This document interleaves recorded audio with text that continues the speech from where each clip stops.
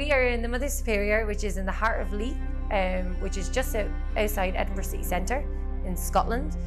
We're in, I suppose, Leith's newest whisky bar, an exciting spot and venue. And it became perfect for Witches and Whiskey because me and Christine had a vision and then I obviously had to buy a bar, so we had a venue. to host this in.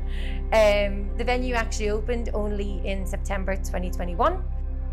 We're just in this big community which has a history of distilling and brewing and multiple up and coming distilleries. So it seems perfectly fitting for what we're kind of doing with this. I think Witches and Whiskey is a celebration of just Scottish culture, of storytelling, music, the, the water of life. It's something that joins all the different aspects of the culture together in a, in a theatrical way. And it makes whiskey tastings generally are more, I'm going to say in a way, more male orientated. And I think, you know, generally when when the public think of a whiskey tasting, they think of, uh, you know, this kind of stuffy atmosphere that's that, that's almost a little bit intimidating. And we wanted to create something that's a little bit more magical and a little bit. You know, when people first heard the name, I think they were expecting gimmick. They're expecting us to be in costumes and almost be like the Edinburgh Dungeons, when really we're kind of doing a celebration of culture.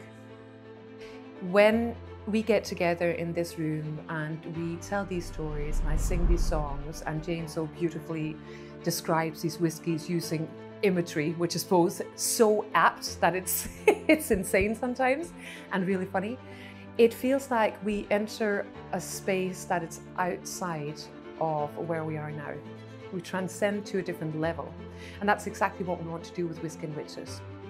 We want to offer tasting that is it's quite different and that goes more in depth with the spirit itself, which is why we turn to the spirits of folklore, to mythical beasts. And that was why we were so excited when we were approached by Spiritfilled, um, because they have these line of whiskies called mythical beasts. So for me, that was a dream come true. And I had so much fun writing those stories and finding the music, both my own compositions that fitted to it and uh, Scottish folk songs that I then arranged new ways to fit to those, those different beats. They just make really good whiskey.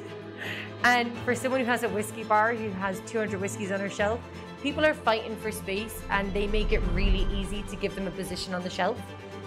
They make dis like distilleries a little bit more exciting because they're putting that little twist on it that, and something that you wouldn't really expect. All this big collaborations happen and I get to work with I suppose, independent bottlers that I really respect.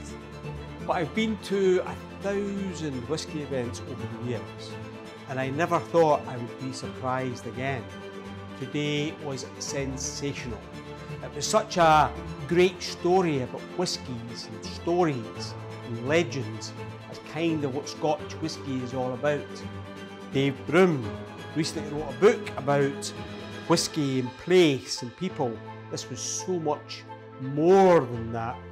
Uh, Lisa set it up, Jane told some great stories and some fantastic tasting notes, almost in the Scottish Malt Whisky Society style actually, and Christine singing, which is so passionate that uh, I almost had tears in my eyes at some of the songs. Quite frankly, it's the best whisky event I've ever attended, I think quite exciting that people are seeing whiskey in a new light and trusting two witchy women to, to tell them all about it. To me, whiskey is the distillation of a land and uh, it's the distillation of the spirit of Scotland. So connecting that spirit to the creatures that inhabit that land. And they elevate and they complement each other so well. And I think that's why Whiskey and Witches work. Because it comes from that deep, sincere place of interest and love for nature and for these creatures and for compiling it all together into this beautiful tasting.